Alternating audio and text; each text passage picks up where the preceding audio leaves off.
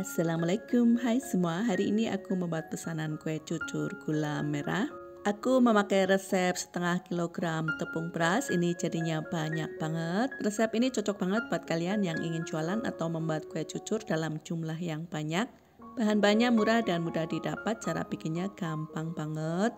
Dan aku akan share ke kalian tips dan triknya cara menggoreng agar mengembang dan berserat. Kita langsung saja ke cara membuatnya.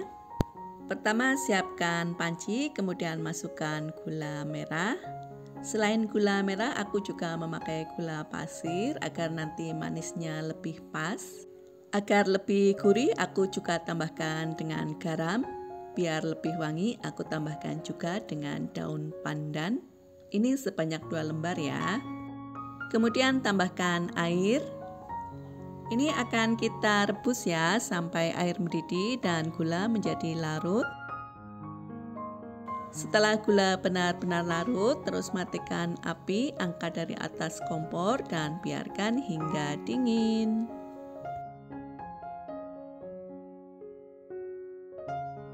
Setelah dingin kemudian kita akan saring untuk membuang sisa kotoran-kotorannya. Biasanya kalau gula merah itu banyak banget ya sisa-sisa kotorannya. Jadi ini wajib banget untuk disaring. Setelah itu baru kita membuat bahan adonannya. Pakai tepung beras dengan kualitas yang bagus ya teman-teman. Aku memakai merek Cross Brand. Dan agar kue cucurnya tidak keras walaupun sudah dingin, aku tambahkan juga dengan tepung terigu. Ini aku pakai yang curah saja. Kemudian kita aduk sampai tepung terigu dan tepung berasnya tercampur rata.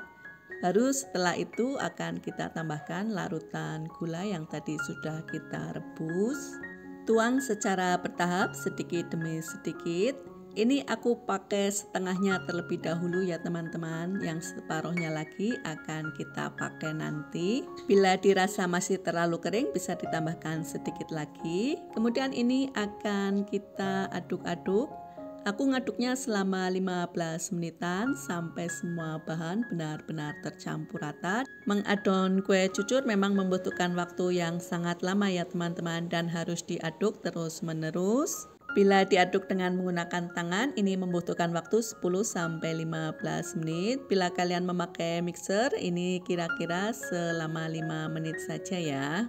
Kalau zaman dulu mengaduknya ini pakai tangan dan dipukul-pukul ya teman-teman Karena sekarang kita punya alat pengaduk Jadi kita nggak usah perlu pakai tangan lagi Dan teman-teman bisa lihat hasilnya ya Ini sangat lembut dan halus dan nanti kita nggak perlu nyaring adonan ya teman-teman karena ini sudah benar-benar halus. Setelah itu kita akan tambahkan sisa larutan gula merah yang separuhnya lagi. Ini juga tetap ya teman-teman naruhnya secara bertahap sedikit demi sedikit ini agar supaya lebih mudah diaduk. Sekarang jarang banget ya orang yang jualan kue cucur gula merah. Kemarin aku pasang status di WA hanya beberapa menit saja udah kebanjiran order. Kalian harus cobain ya. Sebenarnya aku juga masih belajar membuat kue cucur dengan baik dan benar. Jadi teman-teman nanti tolong dikoreksi ya bila ada bagian-bagian yang kurang pas. Nah kira-kira kekentalannya seperti ini teman-teman. Adonannya itu jatuhnya halus banget. Ini tidak terlalu encer juga tidak terlalu pekat. Ini kurang lebih pas ya. Nah ini tips supaya mengembang dan bersarang. Ini adonannya akan kita diamkan terlebih dahulu selama satu jam. Ada juga yang menyarankan untuk didiamkan selama 4 jam. Nah ini adalah adonan yang sudah aku istirahatkan selama satu jam. Kemudian aku akan aduk-aduk lagi untuk memastikan tidak ada endapan di dasar baskom dan agar ukurannya sama rata, aku akan takar dengan menggunakan cetakan kue nona manis. Kira-kira sebanyak 3 per 4 dari tinggi cetakan ya. Bila kalian suka dengan video ini, silahkan di like dan sekiranya video ini bermanfaat, silahkan di share di media sosial kalian masing-masing. Bila masih ada pertanyaan, silahkan tulis di kolom komentar. Kemudian kita akan goreng dengan minyak panas api sedang. Jangan menggunakan api yang terlalu besar ya teman-teman, nanti cepat kosong dan apinya juga nggak boleh terlalu kecil, nanti dia akan susah untuk mengembang. Bila bagian pinggirannya sudah mekar, kemudian kita akan siram bagian tengahnya dengan menggunakan minyak panas. Gunakan spatula ya, nanti dia lama-lama bentuknya akan menggembung. Nah, setelah menggembung kita akan balik kue cucurnya. Ini bentuknya cantik banget ya teman-teman, seperti topi yang berenda. Kemudian diputar-putar seperti ini ya, agar pinggirannya dia itu sedikit crispy dan keriting. Beda gula merah juga beda hasilnya ya teman-teman. Tadi aku memakai gula merah yang warnanya agak sedikit pucat, agak sedikit kekuningan. Jadi hasilnya juga agak kekuningan seperti ini. Jika kalian menggunakan gula merah yang warnanya agak tua, agak pekat, warnanya juga nanti akan kecoklatan.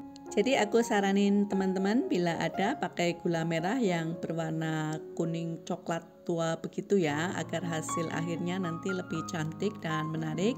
Dan setelah kue cucur matang akan kita tiriskan. Kue cucur memang agak cenderung berminyak ya.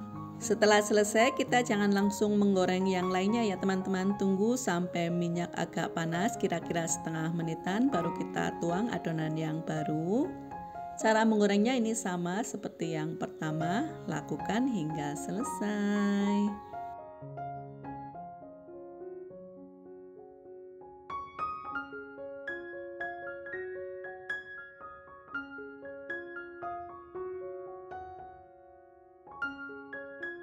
Untuk satu resep ini aku bisa menghasilkan 50 sampai 53 piece kue cucur gula merah yang mengembang dan berserat. Ini memang cocok banget dijadikan untuk resep jualan ya teman-teman. Oke, sekarang waktunya kita icip-icip dan kita lihat dalamnya seperti apa. Kue cucur gula merahku ini pinggirannya sedikit crispy ya teman-teman. Tapi dalamnya dia tetap lembut dan berserat. Bagian tengahnya juga bersarang. Semoga ini bisa menjadi ide dan inspirasi buat kalian semua. Terima kasih sudah menonton.